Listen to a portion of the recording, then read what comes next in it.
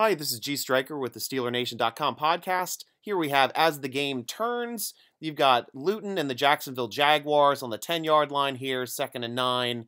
Game still within reach. They're looking to tie it up here before the end of the half after a touchdown that just went the other way to Chase Claypool. Jacksonville is still doing a good job of moving the football at this point of the game. Uh, looks like they're lined up here in a 12 personnel set with one running back, two tight ends, so that leaves two other receivers on the field. Uh, as we go into motion here, we will see the Steelers defense working in tandem to make a play, which is just excellent. Uh, as they teach you, if you're a defensive lineman, you can't get there, get that hand up. And that's what Tyson Alualu did right there. Got that big maul up, and Minkah Fitzpatrick was able to be opportunistic there, reading the play as soon as it went up in the air to get up and underneath of it. And the Steelers were doing an excellent job as a group that entire game of getting their hands up because Luton was getting those passes out very, very quickly.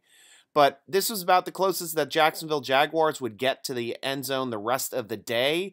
They didn't they weren't really able to move the ball efficiently in the second half and followed this interception with another interception in the half, and, and they were lucky the Steelers didn't get more points on the board. But this is definitely where the game turned, thanks to a tandem play by Tyson Alualu and Minkah Fitzpatrick being the man on the spot here, returning the ball out to the 40 yard line, and gave Ben Roethlisberger another shot into the end zone before the end of the half.